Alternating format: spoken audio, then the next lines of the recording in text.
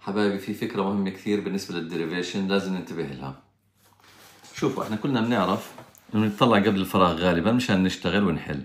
هلأ لما نشوف ال is اللي هي من أفعال ال be دائما أفعال ال be بتعطيني adjective صفة. أوكي على عيني وعلى رأسي ممتاز.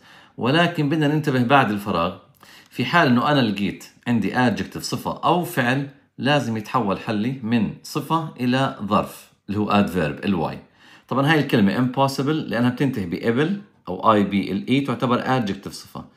طالما لقيت adjective أو فعل بعد الفراغ ببطل حل الصفة بلتغي ولازم يصير ly. شوفوا مثلا هاي كمان مثال آخر بهذا طبعا امتحان وزارة سابق. هون برضو كان في عندي were not. طبعا not هي وقلتها واحد ديروا بالكم ها؟ فعندي ال were هي من أفعال ال be أفعال ال be أكيد راح تعطيني adjective صفة لكن بدي أتأكد بعد الفراغ مباشرة.